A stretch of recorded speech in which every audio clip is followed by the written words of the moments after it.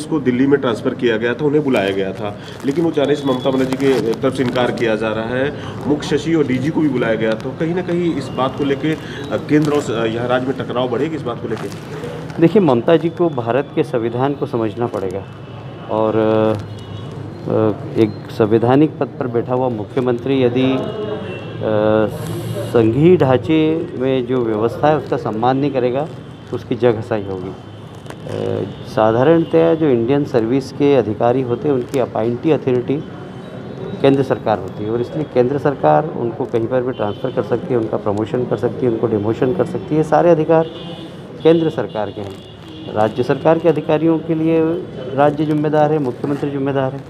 पर केंद्र सरकार के जो अधिकारी हैं, जो भारत शासन की सेवा के अधिकारी हैं, उनके खिलाफ इस प्रकार राजहट करना स्त्री हट करना मैं समझता हूँ उससे जगह सही हो रही है उनकी।